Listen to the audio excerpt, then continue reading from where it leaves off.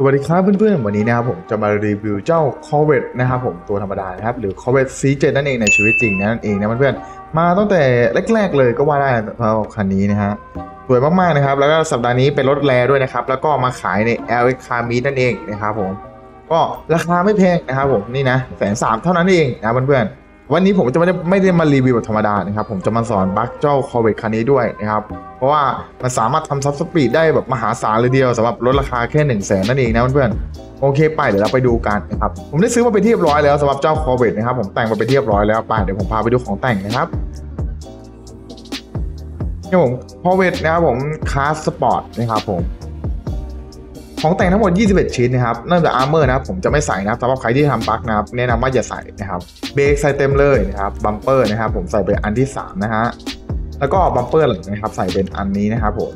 อันที่2นะครับ engine level 4ครับอย่าพลาดนะฮะแล้วก็อ่าท่อนะครับผมใส่เป็นอ่าไทเทเนียมนะครับแล้วก็ข้างๆนะครับคีบข้างผมใส่เป็นคาร์บอนครับ hood ข้างหน้าไม่ได้ใส่นะครับไม่ได้แต่งนะฮะแล้วก็ไฟนะครับใส่เป็นสีม่วงนะครับผม แล้วก็ป้ายทะเบียนใส่เป็นสีแดงแล้วก็เป็นชื่อของผมนะครับ แล้วก็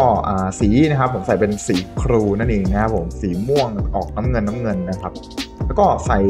โลข้างในนะครับผมแล้วก็ roof นะครับไม่ได้แต่งครับไม่ได้เปิดประตูนะ อันนี้แล้วแต่ความชอบแล้วก็ skirt นะครับใส่เป็นอันที่2นะครับแล้วก็สปอยเลอร์นะครับใส่เป็น drift wing นะครับแล้วก็ซั s เพนชั่นใส่ไปเต็มเลยนะครับ แนะนำให้ใส่นะครับ แล้วก็เกียร์นะครับใส่เต็มครับผมแล้วก็เทอร์โบใส่เต็มครับ แล้วก็ล้อเนี่ยอันนี้แล้วแต่ความชอบนะครับผมใส่เป็นล้อstreet นั่นเองนะเพื่อนวายวากอนนะครับแล้วก็อ่าสียางใส่เป็นสีดำนะครับ แล้วก็หน้ายางผมไม่ใส่นะครับ bulletproof ผมไม่ใส่นะครับ low grip ก็ไม่ได้ใส่นะเพื่อนแล้วก็ smoke ใส่เป็นขาวแดงน้ำเงินสำหรับวันชาติอเมริกานั่นเองนะครับ แล้วก็อะเดี๋ยวกระจงกระจกนะฮะผมก็ไม่ได้ใส่นะครับอ่ากระจกผมใส่เป็นไอ้นี่เพื่อน light smoke นะครับผมประมาณนี้นะสำหรับของแต่งนะ ประมาณนี้เลยถ้าใครอยากแต่งตามก็ได้เลยนะครับ แต่งประมาณนี้นะไปเดี๋ยวเราไปซิ่งกันดีกว่าครับโอเคฮะตอนนี้ผมออกมาจาก l อเป็นที่เรียบร้อยแล้วนะครับ เดี๋ยวผมจะพาไปเทสรถธรรมดาของเจ้าคันนี้กันก่อนนะครับ ว่า performance รถนะครับ มันเป็นยังไงนะครับ ผมบอกเลยว่าเป็นรถราคาหนึ่งแค่แสนสามนะครับแต่คุ้มมากๆนะครับ ผมบอกเลยว่าของแต่งที่ผมแต่งไปเมื่อกี้น่าจะเกินราคารถไปแล้วนะครับ แต่ว่าด้วยรถมันเก่านะครับ ของแต่งมันอาจจะราคาไม่โดดเท่ารถไปใหม่ที่มาในช่วงหลังนะครับอ่ารถราคาของแต่งอะไรเงี้ยมันยังบางอย่างเนี่ยยังราคาถูกกว่า ของแต่งมีไม่เยอะมากเพราะว่ารถมันมีมานานแล้วนะครับเขาเลยไม่ได้เพิ่มของแต่งเข้ามานะครับ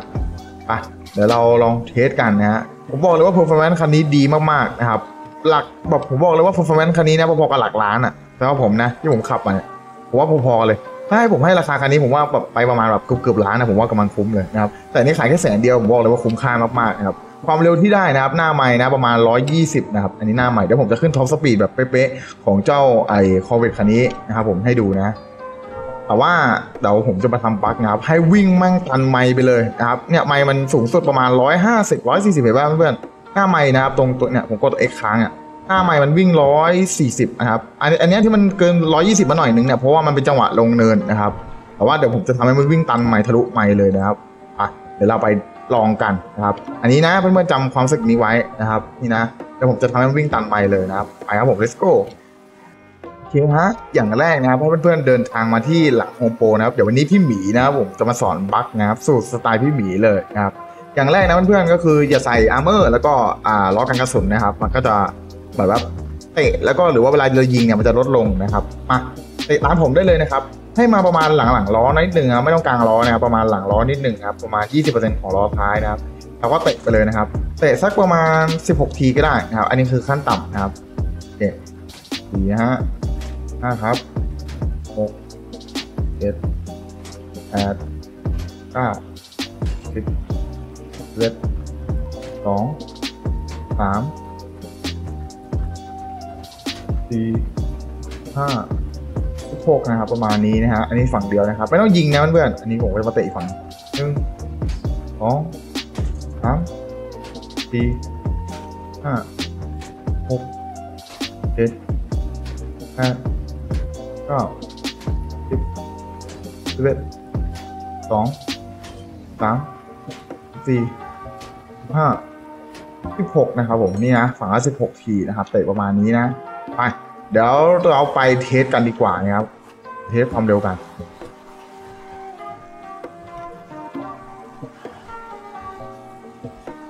อ่านี่รถมันจะสั่นๆนะครับ ถ้ารถมันสั่นๆเนี่ยมีโอกาสใช้ได้นะครับ นี่นะครับลองเทสความดูดูความเร็วหน้าไม้กระแทกนะครับ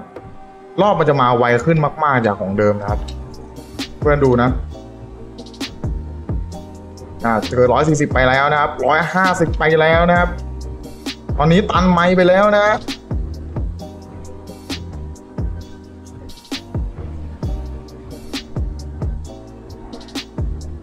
อะไรนะครับฝนตกนะฮะนี่นะฮะความเร็วที่ได้นะครับ ผมว่าตอนนี้น่าจะมีแบบ ถ้าเป็นกิโลเมตรผมว่าทะลุ200 กว่าไปแล้วนะครับถ้าความเร็วระดับนี้นะคู่กับพวกซุปเปอร์คาร์นะครับหรือว่าอาจจะสูสีกับพวกรถติด boost นะผมว่านะอาจจะไม่ได้ถึงขั้นแซงนะครับแต่ผมว่าน่าจะสูสีเลย แต่เราก็ยังไม่เคยลองนะครับ อันนี้นะแรงมากๆนะครับบอกเลยสะใจ อ่าแล้วมีน้องๆบางคนนะครับ เอามีน้องๆบางคนถามนะครับว่าคือบั๊กเนี่ยการบั๊กล้อเนี่ยไอไอการบั๊กรถอย่างเงี้ยมันอยู่ตลอดไหม ผมบอกเลยว่าถ้าเราเก็บเรียกใหม่ก็คือหายนะครับ คือเราจะมันจะอยู่เฉพาะตอนที่เพื่อนๆจะทำเท่านั้นนะเพื่อนๆไม่ต้องกลัวนะบางคนแบบว่าเอ้ยผมอยากกลับไปขับแบบธรรมดานะครับก็ขับได้เลยเพื่อนๆเราแค่ไม่ต้องเตะมันแบบที่ผมทำนะครับเราก็ขับไปบอกปกตินั่นแหละคือมันก็ไม่เป็นไรนะครับถ้าเราเก็บเรียกใหม่มันก็แค่รีใหม่เหมือนแบบไอ้ตรงเนี้ยหลักเหมือนหลักการทำงานของไอ้ระบบปลั๊กเนี่ยคือมันทำงานแบบให้ล้อมากระแทกกับพื้นเพื่อนๆ แล้วพอล้อมากระแทกกับพื้นแล้วมันกระแทกกับตัวรถไปเรื่อยๆเนี่ยมันจะเลยเกิดความแรงขึ้นมานะครับเราจะสังเกตได้ว่าเวลาเราขับรถในเมืองนะครับรถบางคันเวลาอ่าโหลดมันต่ำแบบเหมือนใกล้ๆล้อเนี่ยเวลาเราขับในเมืองเนี่ยคือรถพวกนั้นอะมันจะแรงมากๆนะครับ เช่นพวก T10 อิตาลี GTO อะไรพวกเนี้ยมันจะแรงมากๆแบบความเร็วพุ่งไปแบบร้อยสี่สิบร้อยหกสิบนะครับผมหน้าไม่นะ แต่ว่า เวลาเวลาเราขับธรรมดาเนี่ยมันจะไม่แรงเท่านั้น เพราะว่าในเมืองกับตอนเรามาขับฟรีโหมดนอกเมืองเนี่ยมันผิดกันนะครับแล้วเวลาเราไปขับในสนามก็ผิดกันอีกนะแต่ในสนามก็จะมีข้อเสียตรงที่เราจะบักเราเราจะลงมาเตะรถแบบนี้ไม่ได้นะครับอ่าเราก็ต้องเล่นในแบบอ่าเซิร์ฟข้างนอกแบบนี้ในฟรีโหมดนะครับมันถึงจะเทียบความเร็วได้นะครับ ก็ตามนั้นนะเพื่อนๆแบบบางคนถามนะว่าบั๊กเนี่ยมันอยู่อย่างเงี้ยไอความเร็วอย่างเงี้ยอยู่ตลอดไหมไม่อยู่ตลอดนะครับจะอยู่เฉพาะตอนที่เพื่อนๆเตะเท่านั้นนะท่านเพื่อนเก็บเรียกใหม่หรือขายรถหรืออะไรก็แล้วแต่ผมไม่รู้อะหรือซ่อมรถอะคือคือกลับไปเป็นเหมือนเดิมเลยนะครับเราถึงต้องมีการรีรถบ่อยๆนะครับต้องเสียเงินค่าซ่อมรถบ่อยๆนะครับถ้าใครไม่อยากเสียก็เก็บเรียกรถใหม่แล้วกันนะแต่มันมีเวลาจำกัดไง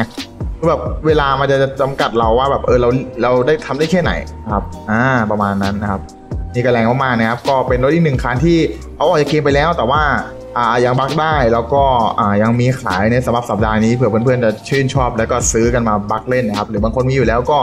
ทำตามผมก็ได้เผื่อบางคนอยากบักเล่นๆเล่นกับเพื่อนอะไรอย่างเงี้ยมันก็เป็นความสนุกอย่างหนึ่งแล้วกันนะครับอ่าอย่าแบบอย่าแนะนำว่าอย่าเผลอเอาไปเกียนหรืออะไรที่ได้มาแนะนำนะคือแบบเอาแค่เล่นกับเพื่อนเราก็พอ ถ้าไปเกียนเขาหรือบางทีไปมิทติ้งเงี้ยเขาอาจจะเตะเราออกได้นะครับเขาจะเขาจะบางคนเนี่ยเขาไม่รู้